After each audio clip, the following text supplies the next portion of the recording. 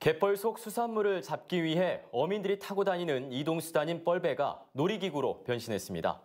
갯벌 레이싱에 수산물까지 잡을 수 있는 뻘배 체험이 인기를 끌고 있습니다. 이상환 기자입니다.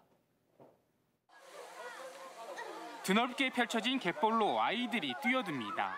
무릎까지 빠지는 깊은 뻘에 기어다니기조차 힘들지만 뻘배를 타면 상황이 달라집니다. 레저용으로 개조한 플라스틱 뻘배는 나무로 만든 전통 뻘배보다 가볍고 빨라 속도감을 즐길 수 있습니다. 어른들도 잠시나마 동심으로 돌아갑니다. 갯벌에 제일 처음에 그 들어왔을 때는 다리가 빠져서 빼내기 힘들었지만 어, 미끈미끈거리고 부드럽고 그리고 마음껏 옷도 걱정 없이 뛰어놀아서 좋았습니다.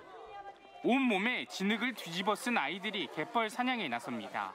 한 번도 보지 못한 칠개와 짱뚱어를 잡느라 시간 가는 줄 모릅니다.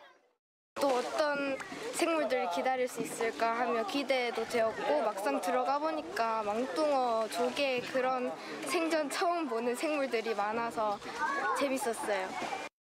갯벌에는 게르마늄과 미네랄 성분이 풍부해 뻘배 체험과 함께 아토피 치료 효과도 덤으로 얻을 수 있습니다.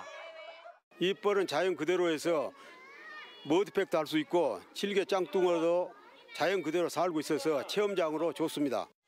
어민들의 생활 터전이던 갯벌이 레저와 생태 체험 공간으로 새롭게 태어났습니다. KBC 이상환입니다.